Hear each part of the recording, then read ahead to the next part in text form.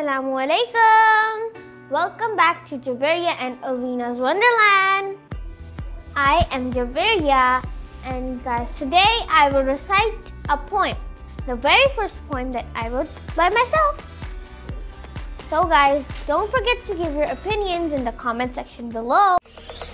Zombie apocalypse.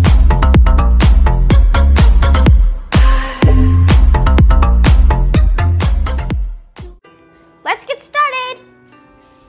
The world is full of so many things. The world is full of so many things birds and trees, insects and fleas, and stings of bees and bees.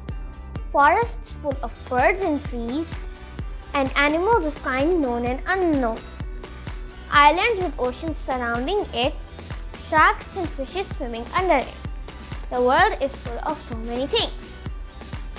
Hope you guys liked it and see you in the next video. Bye. Ciao. Allah Hafiz. Zombie apocalypse.